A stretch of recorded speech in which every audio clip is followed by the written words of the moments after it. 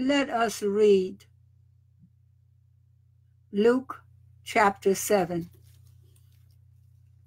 Now, when he had ended all his sayings in the audience of the people, he entered into Capernaum.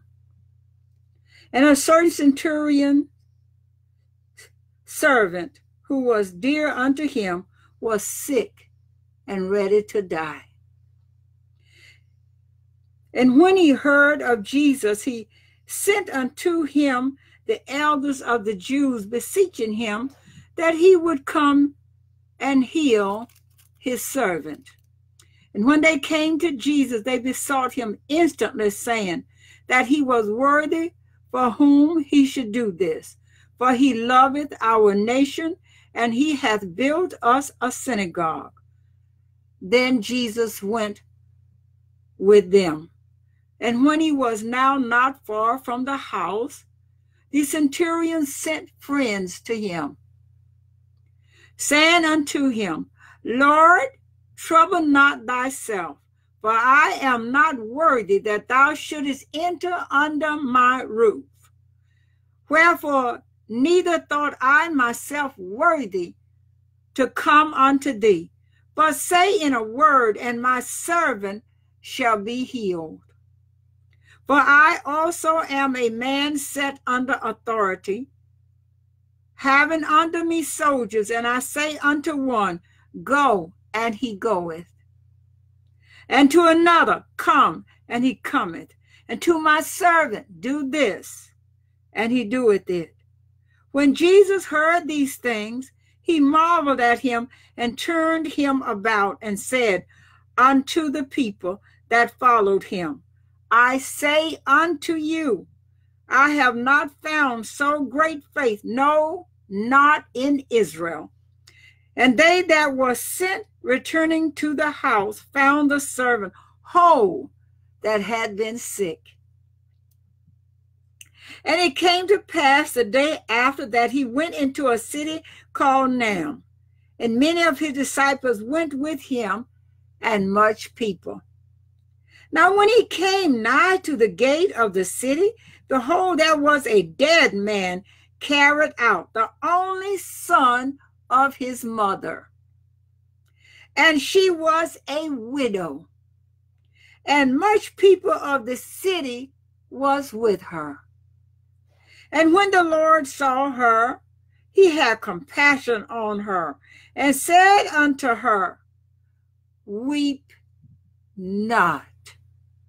And he came and touched the bear, and they that bare him stood still, and he said, Young man, I say unto thee, arise.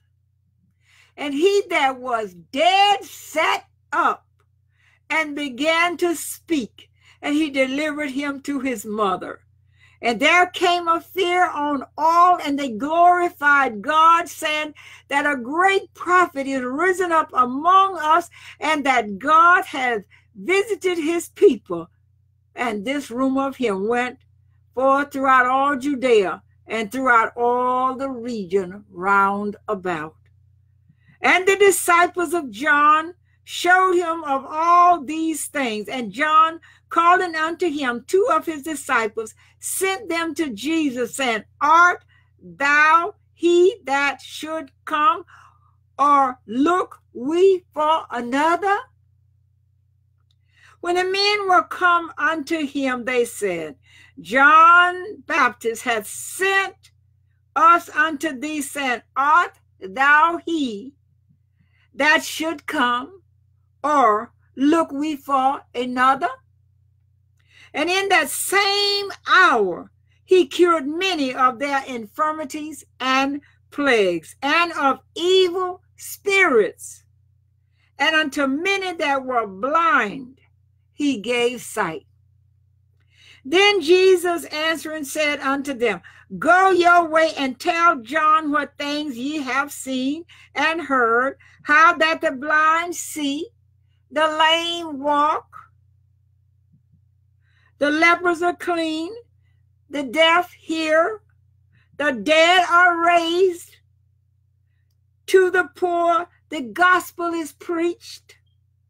And blessed is he whosoever shall not be offended in me. And when the messengers of John were departed, he began to speak unto the people concerning John. What went ye out into the wilderness for to see? A reed shaken with the wind? But what went ye out for to see? A man clothed in soft raiment? Behold, they which are gorgeously apparelled and live delicately are in king's courts. But what went ye out for to see? A prophet? Yes, I say unto you, and much more than a prophet. This is he of whom it is written Behold, I send my messenger before thy face which shall prepare thy way before thee. For I say unto you, among those that are born of women, there is not a greater prophet than John the Baptist, but he that is least in the kingdom of God is greater than he. And all the people that heard him and the publicans justified God being baptized with the baptism of John. But the Pharisees and lawyers rejected the counsel of God against themselves, being not baptized of him. And the Lord said, Whereunto then shall I liken the men of this generation? And to what are they like? They are like unto children sitting in the marketplace and calling one to another and saying, We have piped unto you, and ye have not danced. We have mourned to you, and ye have not wept. For John the Baptist came neither eating bread nor drinking wine, and ye say, He hath a devil. The Son of Man is come eating and drinking, and ye say, Behold, a gluttonous man and a wine bibber, a friend of publicans and sinners. But wisdom is justified of all her children. And one of the Pharisees desired him that he would eat with him. And he went into the Pharisee's house and sat down to meat. His house brought an alabaster box of ointment and stood at his feet behind him, weeping, and began to wash his feet with tears, and did wipe them with the hairs of her head, and kissed his feet, and anointed them with the ointment.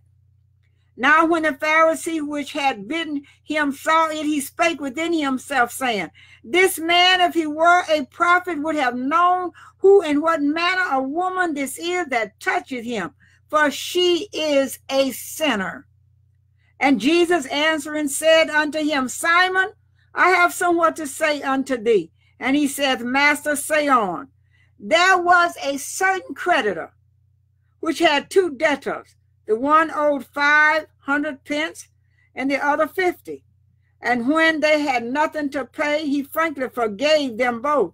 Tell me, therefore, which of them will love him most? Simon answered and said, I suppose that he to whom he forgave most. And he said unto him, Thou hast rightly judged. Simon answered and said, I suppose that he to whom he forgave most. And he said unto him, Thou hast rightly judged. I repeated that second time. And he turned to the woman and said unto Simon, Seest thou this woman? I entered into thine house. Thou gavest me no water for my feet, but she hath washed my feet with tears and wiped them with the hairs of her head. Thou gavest me no kiss, but this woman, since the time I came in, hath not ceased to kiss my feet. My head with oil thou didst not anoint, but this woman hath anointed my feet with ointment. Wherefore I say unto thee, her sins which are many are forgiven, for she loved much.